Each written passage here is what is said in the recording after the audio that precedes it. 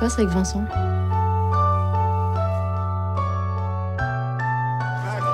Ah, il était complètement défoncé au moment de l'accident. Ma faute, il s'est pété la gueule. Arrête.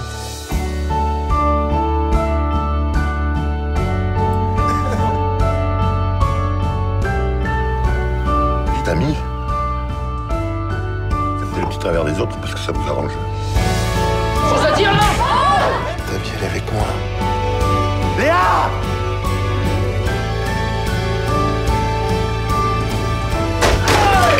Papillon! Max!